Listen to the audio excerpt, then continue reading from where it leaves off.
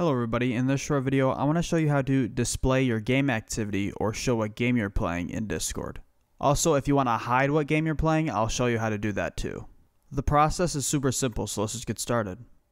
So as you can see on the sidebar here on my Discord server, it says I am currently playing Roblox. I also have a friend who's playing Valorant. So let me show you how to get that to pop up. So what you're going to need to do is come down to the little settings cog here at the bottom next to your name.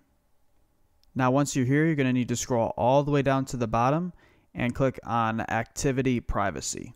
And then at the top here at this Display Current Activity as Status Message section, you want to make sure it is ticked on. As you can see, if I tick it off and then go check on what game I'm playing, it says I'm not playing anything right now. If for some reason you have this ticked on and you don't see the game you're playing, you can come down here to registered games right below and then you can add the game that you're playing. So yeah, that's pretty much it. If this video helped you, a like and subscribe would be greatly appreciated.